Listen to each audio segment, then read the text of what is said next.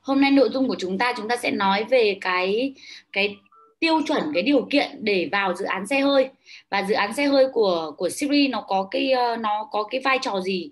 Nó có cái nó nó có cái tính thúc đẩy như thế nào khi mà trong một quá trình chúng ta làm việc? Và tại sao cái dự án xe hơi nó lại được nhắc đi nhắc lại nhiều như thế? Mình sẽ cùng ờ, nói với nhau một số thông tin cơ bản. Sau đó là mình sẽ vào cái uh, chia sẻ những cái tiêu chuẩn để có thể bước vào dự án xe hơi. Để khi mà có ai đó hỏi các anh chị em về cái dự án xe hơi là như thế nào thì mình có biết đường để mình trả lời. Uh, và cái phần này đặc biệt rất là quan trọng với tất cả cả các anh chị em. À, tại bởi vì là mình mình vào đây mình làm á nếu như mà mình không biết được là cái cái chiến lược marketing nó nằm ở đâu thì sau đấy mình sẽ không biết phải đi theo phương hướng nào cả. À, thì đầu tiên nhá là mình phải để ý rằng là mỗi một cái ờ, cái công ty ấy người ta sẽ có một cái phương thức marketing khác nhau. Người ta sẽ có một cái dấu ấn để marketing. Đối với sơ đồ trả thưởng của mình thì cái cái quan trọng nhất ấy nó nằm ở cái chỗ làm cái mức thu nhập 35 40 triệu. Tập đoàn rất là tập trung để tạo ra những cái người mà có mức thu nhập này. Chúng ta gọi là nhà tư vấn chuyên nghiệp. À, thế thì tại sao tập đoàn lại có cái cái gọi là lại có cái ý tưởng phát triển như vậy? Có những rất nhiều tập đoàn khác uh, thì họ lại là cứ phải đi gần hết cái sơ đồ trả thưởng ấy thì tiền mới cao. Có nghĩa ở đây giống như làm Mỹ Hạ là đã từng làm ở bên Herbalife này. Ở đây mình là mình nói một cách khách quan. Chứ không phải là mình nói nó nói khen tô hồng hoặc là bôi đen đâu nhá có nghĩa rằng là để mà có thu nhập quãng chừng, cái top leader quãng, thu nhập quãng chừng vài trăm triệu đến cả tỷ ấy. Ví dụ như ở bên đó, để có thu nhập 200 triệu một tháng mà thụ động ấy, mà từ doanh số hệ thống, chắc có lẽ phải mất quãng chừng 5 năm. Có nghĩa là lên nhóm chủ tịch, đúng à xin lỗi millionaire team, đúng không hả, Mỹ Hà tại vì bình thường mà để có thu nhập hệ thống nhá thu nhập hệ thống chứ không phải thu nhập từ bán lẻ. Thu nhập hệ thống mà quãng chừng khoảng uh, lên chỗ ghép tim là 40, 50, 60 triệu một tháng á, thì họ cần phải có 3 năm. Và chính bởi cái thời gian này nó quá lâu nó quá lâu cho nên rằng là người ta không thể có có cái cơ sở để mà chờ đợi được. Và mỗi một một tập đoàn họ sẽ hướng dẫn là mình uh, mình uh, gọi là được đào tạo một cách khác nhau à, thế thì đối với Sibri thì sao? Sibri là chúng tôi sẽ làm sao mà ngay cái tháng đầu tiên các bạn làm các bạn đã phải có tiền rồi. Ít nhiều gì các bạn cũng phải có. Và cứ sau một tháng thì cứ làm sao mà cái tiền các bạn kiếm được nhiều hơn tháng trước? Nhiều hơn 100 nghìn cũng được. Nếu mà mình không tuân thủ nguyên tắc này thì bản thân mình không hào hứng và những người mới vào với mình cũng không hào hứng. Và cái cách để có thu nhập 40 triệu ở Siri và bước vào dự án xe hơi á tối đa là 8 tháng. Tối đa là xin lỗi trung bình là 8 tháng với tôi tôi tôi đối với trong đầu của tôi ấy, là tối đa là 8 tháng. Các bạn hiểu ý tôi không ạ? Nhưng ở đây trung bình là anh Trương Huy Cường anh lấy cái mốc 8 tháng là mốc của uh, chị nông dân Lê Thị Hòa cũng làm được này. Mốc của rất nhiều người. Mốc của anh Trương Huy Cường khi mà anh Cường không còn một mối quan hệ nào không còn mối quan hệ nào làm thị trường lạnh 100% thì cũng 8 tháng là anh ấy vào dự án xe anh ấy lấy xe hơi và rất nhiều người đang có cái tốc độ nhanh hơn. Đội của chúng ta nhé thì có những người là vào dự án sau 2 tháng 3 tháng 4 tháng là lấy. Đó tức là lấy rất là nhanh. Thế thì uh, mình cũng thấy rằng là cái cái xe hơi nó là một cái công cụ rất tốt. Và cái mức thu nhập 40 triệu cũng là mức thu nhập mà ở đấy mọi người đã an tâm để mọi người đầu tư mọi người làm việc. Tức là có thực biết vực được đạo. Muốn giúp được người khác thì đầu tiên mình phải có tiền mình sinh sống đã cho nên là cái mốc xe hơi ấy, là cái mốc mà tại đó bạn đủ tiền để nuôi sống gia đình của bạn. Ý là như vậy. Cho nên mình hay nói ngắn gọn là cái cái xe hơi. Mình không thể dùng một trang A4 để mình giải thích cho một vị trí được. Cho nên là mình chỉ đơn giản là gặp nhau thì mình hai file ô tô. Ở trên zoom này mình cũng hai file ô tô. À, có nghĩa là làm như thế để cái ô tô nó nhanh về với mình. Nó nhanh về với mình. Thế thì mình mình phải hiểu rõ cái điều này. Tập đoàn của chúng ta tập trung vào cái chỗ ô tô này cho nên rằng những cái người mà có thu nhập 40 triệu ấy mà được được xây dựng ra càng nhiều thì họ càng an tâm để họ hướng dẫn những người khác cũng có ô tô. Và từ đó mình sẽ có những leader lớn. Túm lại phải thoát khỏi gánh nặng cơm áo gạo tiền bắt đầu mới đến uh, hỗ trợ giúp đỡ và uh, sứ mệnh cuộc đời được. Thế còn cái đồng tiền chúng ta kiếm được á tôi rất là tự tin khi tôi nói rằng là um, tôi muốn kiếm 10 tỷ một tháng ở Syria và tôi sẵn sàng dành 10 năm để đầu tư cho nó và khi mà tôi nói như vậy, nhiều người bảo, không công nhận con Anna nó mê tiền thật. Thế thì đúng là tôi mê tiền. Mà bạn phải hình dung là nếu như tôi chỉ mê tiền không thôi, thì tôi đã làm nhiều cái thứ khác rồi. Nhưng mà cái cách mình mê tiền là một cái gì đó làm mà tốt cho bản thân mình, tốt cho đồng đội của mình, tốt cho xã hội có nghĩa là cái cách mà đồng tiền về với ta, nó khác thay vì là đồng tiền có những người là họ kinh doanh dựa trên sự chết chóc của người khác này, bán những cái hàng cấm này, kinh doanh dựa trên sự đau khổ của người khác này, kinh doanh dựa dựa trên sự nghèo đói của người khác này, có nghĩa là cứ đưa tiền vào đây là là mất tiền thôi, là những cái thứ đấy. Còn ở đây chúng ta là kinh doanh dựa trên nền tảng những người thích giúp đỡ người khác. Và tiền về với chúng ta là bởi vì chúng ta đã giúp đỡ được những người khác cho nên rằng là đây là thực sự là một trong những cái hoạt động kinh doanh mà khi mà nói đến tiền là đằng sau đó là cả những cái câu chuyện mà bạn đã nỗ lực, bạn đã phát triển nghị lực như thế nào, bạn đã phát triển trí tuệ như thế nào để bạn có thể dẫn dắt được một hệ thống và bạn thường xuyên phải làm những cái việc mà có đạo đức như thế nào để mà giữ được cái hệ thống ấy nó bền vững và văn hóa nó đồng nhất. Đó. Thế thì khi mà mình hiểu được cái này rồi thì mỗi lần mà mình nói về cái ô tô thì trong lòng mình người ngoài người ta không hiểu người ta chỉ tưởng đấy chỉ là một cái ô tô tưởng là mình thích một cái phần thưởng. Thế nhưng mà mình thì mình phải hiểu là cái ô tô ở trong lòng mình á nó là cái gì nó đại diện cho cái gì? Nó đại diện là mình đã chính mình á, đã trải nghiệm được cái công thức này và mình đã có kết quả và mình chỉ có thể cho đi những gì mà mình đã có. Chỉ mình chỉ có thể cho đi những gì mình đã có. Mình không thể có những thứ những thứ mình không thể vay mượn được. Cho nên rằng là ở đây cái mấu chốt số 1 là mình phải hiểu được ý nghĩa cái ô tô của mình cái số 2 sau khi mình hiểu ý nghĩa cái ô tô của mình mình biết rằng là mình lên đến đấy thì mình mới có thể sẵn sàng giúp đỡ người khác được. Thì bắt đầu đến cái mức số 2 là bây giờ mình phải xem xem là bây giờ cái công thức để lấy cái ô tô ấy là như thế nào. À, thì chúng ta đã nói nhiều về cái công thức để lấy ô tô rồi. Và ngày thứ bảy ngày thứ bảy là ngày mùng 6 tháng 2 tới đây tất cả các anh chị em mà doanh số cá nhân 200 điểm thì mình sẽ vào để mình học cái công thức lấy ô tô của Legion Team của chúng ta công thức của Legion Team là bạn sẽ vào dự án ô tô trong 4 tháng và bạn sẽ lấy ô tô trong vòng 6 tháng. Đó là cái công thức của Legion Team. Có nghĩa là chúng ta sẽ tìm cách để chúng ta rút ngắn cái thời gian trung bình uh, như cái công thức của S69 là 8 tháng. Công thức của S69 như một cái khung và mỗi một leader sẽ có đổ cái ruột vào và đây là cái cách mình đổ cái ruột. Và khi mà Anna đi chia sẻ uh, trên trên trên trên từ mấy cái tỉnh mà tháng 1 này mình có cơ hội mình đi rất là may là mình đã đi xong rồi. Thì nhận được cái sự phản hồi rất là tích cực từ các anh chị em. Và lần này mình sẽ chuyển giao. Và ngay cả những người mà ở xa không thể đến được ở những cái chỗ mà mà ừ, chưa tập trung được đội nhóm đông mình vẫn có cơ hội học. Và chỉ có 200 điểm doanh số cá nhân thôi. À, nên là nhiệm vụ của chúng ta là gì? Là làm sao để đưa tối đa đồng đội của chúng ta vào cái buổi đấy. Vào cái buổi đấy để chuẩn bị cho một cái năm này bùng nổ à, tại vì không phải lúc nào mình cũng ra được một cái cũng có thời gian để làm một cái chương trình như vậy. Rồi đến ngày hôm đấy mình sẽ rõ được cái công thức còn hôm nay mình sẽ nói về những cái những cái tiêu chuẩn có nghĩa là những cái điều kiện của ô tô. Và hôm nay Anna sẽ làm thật rõ để cho các bạn có thể nắm bắt được là à túm lại vào đây mà lấy ô tô thì điều kiện như thế nào. Nói về cái ô tô nó như thế nào là chuẩn nhất. Ok nhá. Bây giờ Anna xin phép được chia sẻ màn hình để nói với các anh chị em về cái ô tô ô tô của Siri. Đầu tiên này ở đây mình có một số anh chị em mới tinh mới cứng luôn. Cho nên rằng là Anna à, Anna sẽ uh, vẫn phải nói theo cái chung. Và anh chị em chúng ta là cứ cứ tạm thời ghi nhận tạm thời ghi nhận nha. Ở đây nó có sơ đồ trả thưởng của mình thì có 14 vị trí nhưng ở đây Anna sẽ tóm tắt lại 6 cái vị trí mà Anna nghĩ là anh chị em cần phải quan tâm. Một k này 2,5 k này 5 k này 20 k này 200 k này và 500 k ở giữa này nó còn có nhiều mốc lắm tương ứng với doanh số của nó. Doanh số. Chỗ này là khoảng 26 triệu này. Là từ mình trở xuống nhá, chỗ này là 65 triệu này. Chỗ này là 130 triệu này. Chỗ này là 500 triệu này. Chỗ này là 5 tỷ này. và chỗ này là 13 tỷ. 13 tỷ này không có nghĩa là đến 13 tỷ này là mọi thứ kết thúc. 13 tỷ này còn tiếp tục có thể kéo giãn lên. Giống như là đến tháng này thì chúng ta tổng doanh số được khoảng gần 5 triệu điểm rồi đó, rất là nhiều. Mà cái tháng này tăng so với tháng trước là 10 tỷ rồi, tiền doanh số. Trong khi là ai cũng nói là, ôi thì gần tết rồi này, kia kia nợ kia khác. Nhưng mà tối chung là doanh số vẫn tăng và kết quả là chân lý, đúng không anh chị em? 8 tháng rồi nó tăng liên tiếp.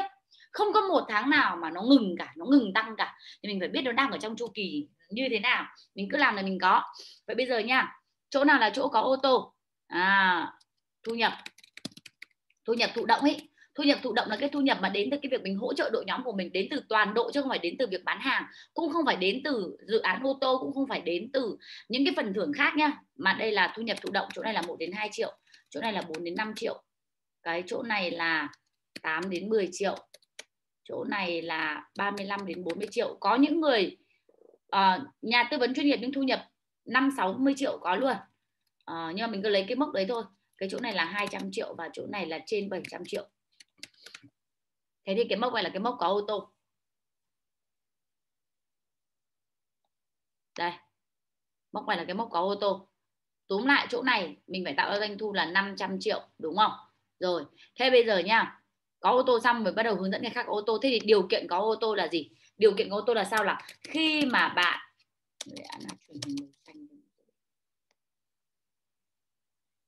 đây. Điều kiện của tham dự dự án xe hơi. Rồi, một, khi bạn mở danh hiệu nhà tư vấn chuyên nghiệp, nhà tư vấn chuyên nghiệp và lặp lại 3 tháng, gọi là tháng mở, rồi đến tháng khóa, rồi đến tháng duy trì. Đó, thì bạn sẽ đủ điều kiện để tham dự dự án xe hơi. Số 2 dự, cái cái cái cái cách cái cách chi trả hoa hồng, cách chi trả tiền trong dự án. Cái tiền này là không hề liên quan gì đến cái tiền mà thu nhập thụ động ở phía trên nhá, không hề liên quan. Rồi cách chi trả tiền trong dự án là, ví dụ như là tháng ví dụ nha. Tháng 3 bạn được tổng doanh số là 20k tức là đạt nhà tư vấn chuyên nghiệp. Cái này gọi là tháng mở tiếp. Tháng 4 tháng 4 bạn được tổng doanh số là 24k này gọi là khóa vị trí tháng thứ hai, nhà tư vấn chuyên nghiệp. Rồi, tiếp tục. Tháng 5 bạn được tổng doanh số là 22.000 này gọi là duy trì thành công vị trí nhà tư vấn chuyên nghiệp à, nhà tư vấn chuyên nghiệp. Sau đó rồi nhá. Sau đó rồi thì chúng ta sẽ sau đó rồi thì chúng ta sẽ làm gì? Chúng ta sẽ um, lấy cái tháng điểm cao nhất là mốc. Có nghĩa là mốc ở đây là cụ thể là cái tháng thứ hai 24 nghìn là mốc. Sau đó cứ một điểm doanh số tăng trưởng của tháng trước của tháng sau mà cao hơn cái tháng mốc liền kề thì mình sẽ được một điểm thì là bằng 3.500 đồng.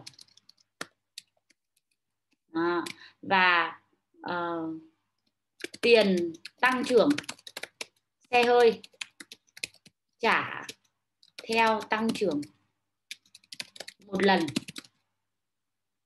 không, câu này câu này hơi khó hiểu. Thôi rồi khỏi cần đi để Anna giải thích các bạn cho nó hay. Và cái cách tính thế nào? Ví dụ tháng 6 thì bạn được 30.000 điểm. 30k điểm. Thì doanh số tăng trưởng của bạn sẽ là bằng 30k trừ đi cái cái mốc cao nhất là 24k là bằng 6k bằng 6k 6k này thì thì suy ra là tiền ô tô sẽ là bằng 6.000 mà nhân với 3.500 3.500 đồng á. Thì cái chỗ này tiền ô tô sẽ đâu với bằng chừng là khoảng à, 6 năm là 30 đi, là 368 2 là khoảng à, 21 triệu tiền ô tô. Nếu mà là 6.000 đến tháng 7 thì à, bạn được 30.000 điểm, lặp lại 30.000 điểm. Thì doanh số tăng trưởng sẽ bằng 30k trừ đi 30k và bằng 0 thì lúc này tiền ô tô bằng 0 có nghĩa là cái doanh số tăng trưởng chỉ trả một lần thôi. Nếu bạn đã lên cái mốc 30k đấy rồi thì có nghĩa là sau này bạn phải cao hơn người ta mới trả tiếp. Đó, cho nên tại sao tôi hay nói rằng là cái cái chúng ta sẽ tính cái số tiền tăng trưởng từ 20.000 mà lên 200.000 là vì như thế. Đến tháng 8 thì bạn được 40k điểm thì lúc này doanh số tăng trưởng sẽ là bằng 40k trừ 30k và bằng 10k thì tiền ô tô sẽ là bằng 10.000 mà nhân với 3.500 và sẽ bằng 35 triệu. Cái tháng mà tôi tăng trưởng tiền ô tô nhiều nhất tôi nhận được á, là hơn 100 triệu. Có nghĩa là tôi tăng trưởng 30.000 điểm hơn 100 triệu. Đó đấy là cái tháng mà tăng trưởng nhiều nhất của Anna hiện nay. Cứ như thế tăng lên và công ty sẽ chi trả tiền ô tô. Trong vòng 48 tháng. 48 tháng. Hoặc cho đến khi bạn mở vị trí thủ lĩnh quốc gia. Đấy, cho đến khi bạn mở vị trí thủ lĩnh quốc gia. Cho nên rằng là bây giờ mình chỉ nên mua cái ô tô là 200 nghìn điểm này, trừ đi 20 nghìn điểm này là bằng khoảng ờ, 180 nghìn điểm, đúng không? Xong bắt đầu mình nhân với cả 3500 thì nó sẽ ra đâu đấy quãng chừng khoảng 630 triệu ấy. Mình nên mua một cái ô tô quãng chừng chỗ này. Và đang có một cái quá trình là điều chỉnh lại cái cái cái cái gọi là nới lỏng cái điều kiện của sơ đồ trả thưởng. Thì nếu như mà có nới lỏng và tập đoàn, nếu như tập đoàn tiếp tục trả tiền ô tô trong vòng bao nhiêu tháng đó, cho mặc dù bạn đã mở thủ lĩnh quốc gia rồi thì chúng ta sẽ chờ. Thế lúc đấy các bạn chỉ cần là tiếp tục các bạn áp dụng vào thôi. Còn đây chính là cái cái chính sách xe hơi của tập đoàn. Đây chính là chính sách xe hơi. À.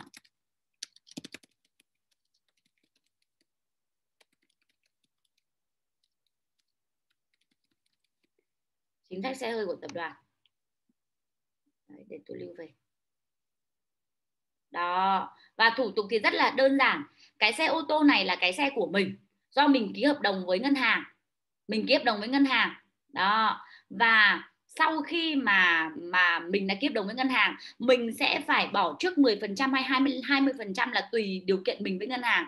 Nhưng mà công ty sẽ chi trả cho mình trả cả cái tiền mà mình đã đặt đặt cọc để mà mình vay đấy luôn. Chứ không phải là chỉ chi trả phần còn lại nhé tất cả các món. Tối đa cái cái cái cái trị giá cái xe của bạn tối đa trị giá cái xe của bạn và sẽ trả trong đúng cái điều kiện đấy. Còn khi bạn đã mở vị trí thủ lĩnh quốc gia rồi thì công ty sẽ không chi trả nữa bởi vì lúc đấy đơn giản là công ty đã nhận cái xe của nhận bạn đã nhận một cái xe mẹ đúng không ạ? Còn nữa là ví dụ bên dưới bạn có một nhà tư vấn chuyên nghiệp thì cái tháng mà cái người đấy mở nhà tư vấn chuyên nghiệp thì vẫn tính vào doanh số tăng trưởng của bạn. Nhưng bắt đầu từ tháng mà cái người đấy khóa nhà tư vấn chuyên nghiệp á bắt đầu từ cái tháng đó à, thì cái doanh số đấy được tính cho người ta và không tính cho mình nữa. Cho nên sau khi các bạn đã có những nhà tư vấn chuyên nghiệp thì lúc này ai cũng được tham gia dự án xe hơi. Thì việc của bạn là tiếp tục tăng trưởng doanh số nhóm cá nhân của bạn. Tiếp tục tăng trưởng doanh số nhóm cá nhân của bạn để mà bạn có thể có được cái cái um, cái, cái cái tiền tăng trưởng để trả được cái ô tô của mình. Và thông thường mỗi một tháng tiền trả góp ô tô như cái ô tô của Anna là mua hơn 700 thì một tháng Anna phải trả khoảng chừng khoảng gần 10 triệu có nghĩa là mình chỉ cần tăng trưởng khoảng 3.000 điểm thôi là dư tiền để trả ô tô rồi. À, nên là mà bây giờ người ta cho vay khoảng 7 năm. Thì đấy là những cái thông tin của cái của cái dự án ô tô.